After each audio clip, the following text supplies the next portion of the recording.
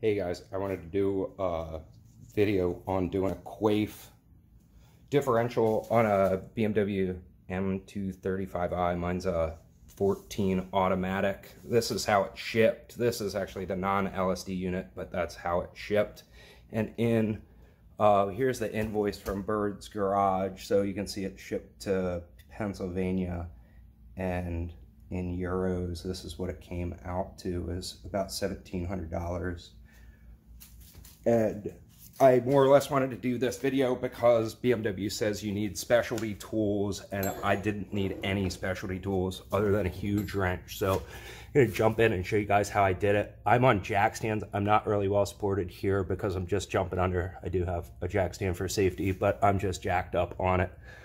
I did this job on jack stands and was able to get everything done here in my garage I did have BMW say they didn't want to, they would not do it because it wasn't factory, and a bunch of shops said they couldn't do it because of specialty tools, and I was able to get it done, so I'm going to show you guys how.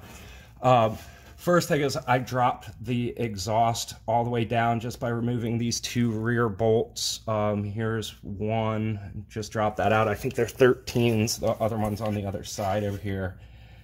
And I just let the exhaust hang there. Um, and then I have a couple notes, sorry, so I'm just gonna look at that. Came up and did the front nut, left it in gear. So here's the front drive shaft, not the propeller shaft. So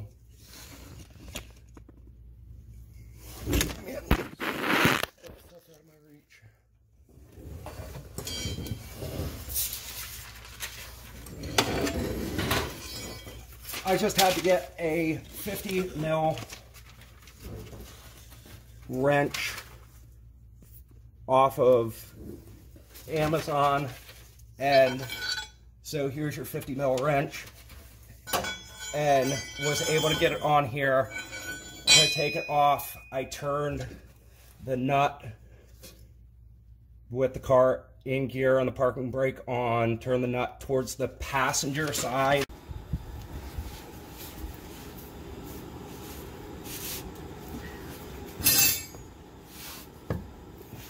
There is a warning here from Birds that says, sorry, it says do not touch this ring. It's for back, backlash, so you do not want to do that. I found it way easier than using that wrench the whole time to get, after it was loosened up, to get a pair of channel locks on this to turn it. Again, I had very limited space though.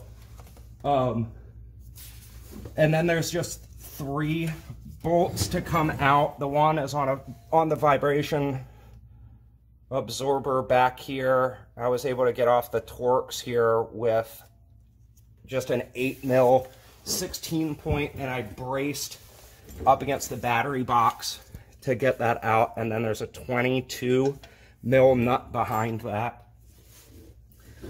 that is a bolt and then there's a nut.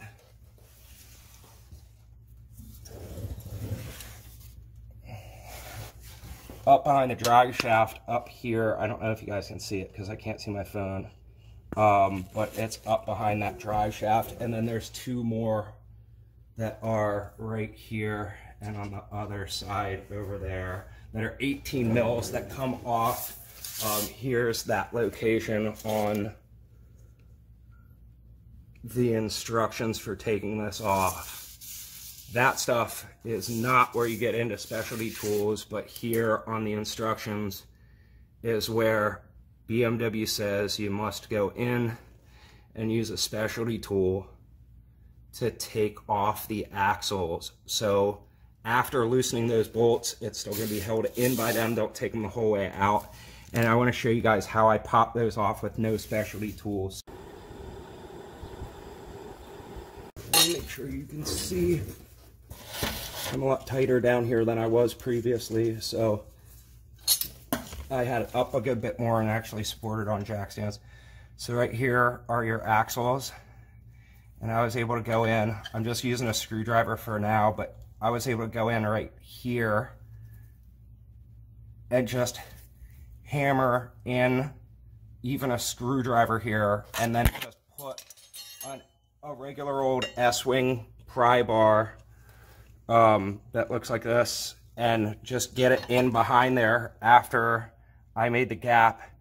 And with those bolts loose, I just popped those open and then took the bolts out, all of the bolts out with that nut the whole way off and swung the whole differential unit down and the instructions which I'll link to say to pick the right side which I take as the passenger side up in the air except I was not able to get that one first so I pulled the driver side the whole way down and was able to get that drive shaft out first. At the time, there were only the drive shafts holding it in, and then got the passenger side second, and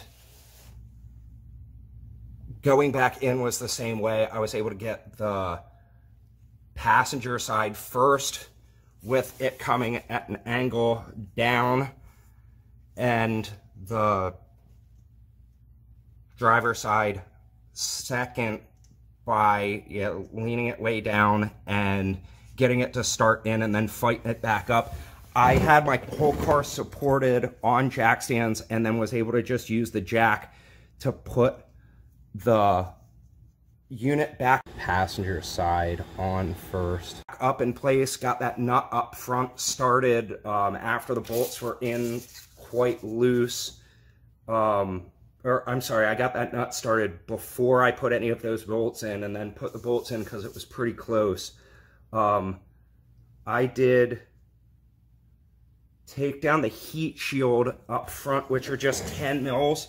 Um, I took that down just a little bit because I didn't want it dented, and I did hit it a little bit. You can see I straightened it back into place pretty well. Um, the torque specs on the bolts are here. Sorry, guys.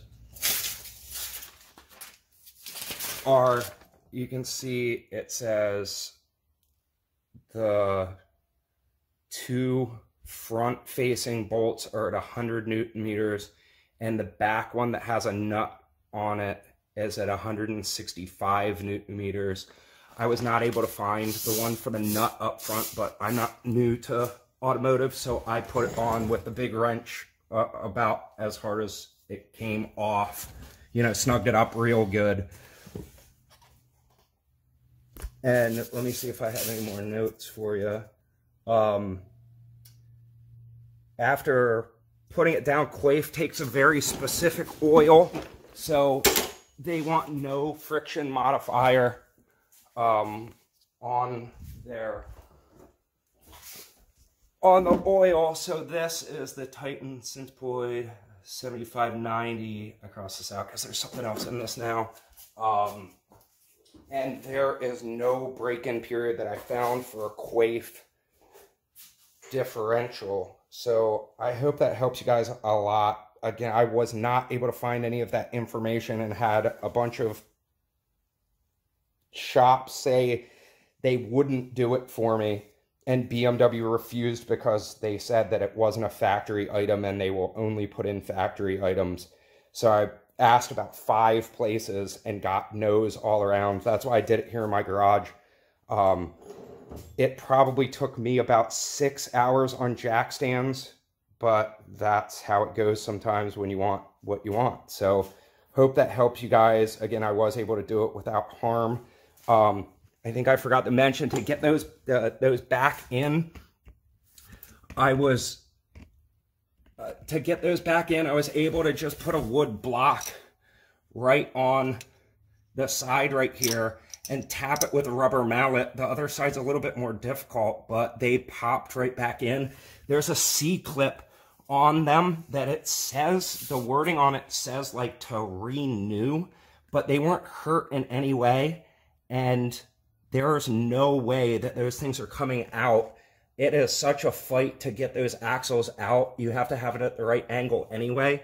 So I didn't see any reason why that spring steel on those C clips that are inside there would be hurt in any way um, or how they would come out.